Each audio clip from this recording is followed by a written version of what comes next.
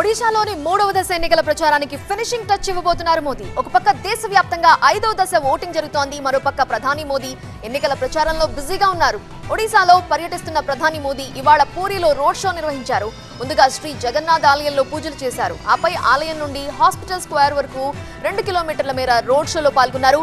ఈ రోడ్ షోలో షెహనాయ్ ధ్వనులు శంకుస్థాపనలు డప్పుల దరువులు దారి పొడవునా శ్రీరాము శ్రీరామ్ అనే నినాదాలు మిన్నుంటాయి. పార్టీ అభ్యర్థులకు మద్దతుగా విజయ సంకల్ప సభలో ప్రసంగిస్తారు పూరి కటర్ సహా ఆరు లోక్సభ స్థానాలకు ఒడిశాలోని నలభై రెండు అసెంబ్లీ స్థానాలకు మే ఇరవై ఐదున ఎన్నికలు జరగనున్నాయి.